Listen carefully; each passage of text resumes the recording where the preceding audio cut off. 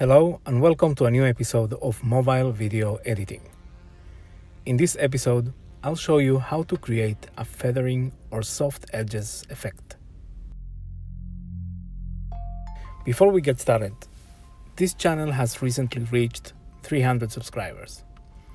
I would like to thank each and every one of you for your support, your comments, and your ideas. Thank you for helping me make this channel better.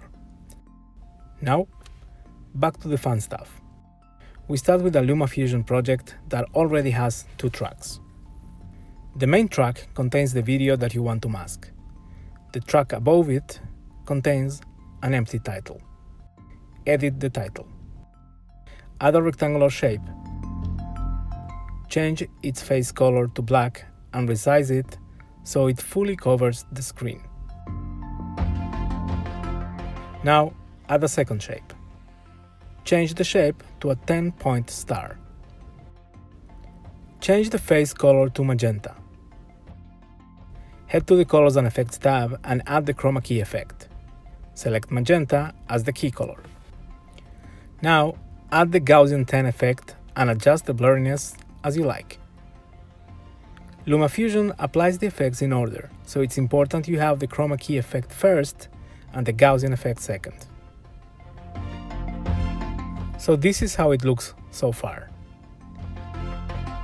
Now you can expand on this.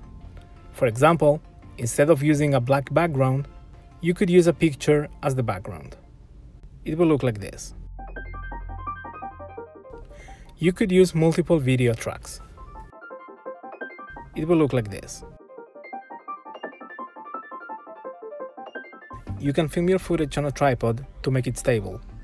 Take a snapshot and use it as a background. It will look like this.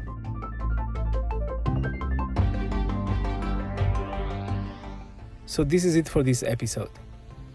Thank you again for your support. Feel free to leave a comment, suggest ideas, like and subscribe. And I'll see you in the next one.